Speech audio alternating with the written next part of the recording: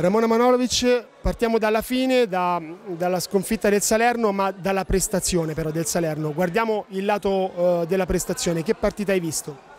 Sicuramente è stata una partita combattuta fino alla fine e nessuna delle due squadre ha mai mollato.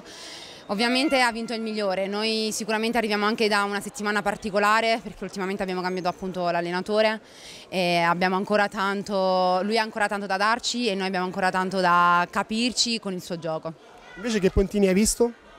Ho visto un Pontini sicuramente che non molla mai, hanno un gioco fluido, le ragazze sono molto unite, quindi si meritano questa vittoria. Tu sei nata qui vicino, a pochi chilometri, sei anche qui con la tua famiglia, raccontaci che emozione è stata giocare davanti ai tuoi.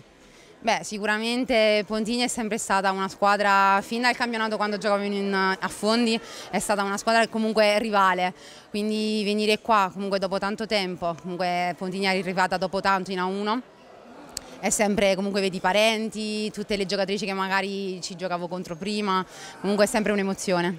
Grazie Ramone e grazie alla mamma. Grazie a voi. A voi. Grazie a voi.